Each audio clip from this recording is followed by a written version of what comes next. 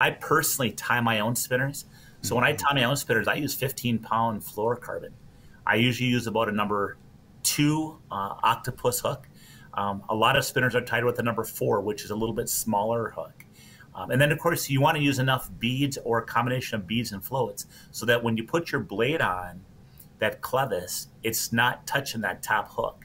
You don't want it covering that top hook because you could, you know, that could get in between the, the fish grabbing that spinner and, and that hook to hook them.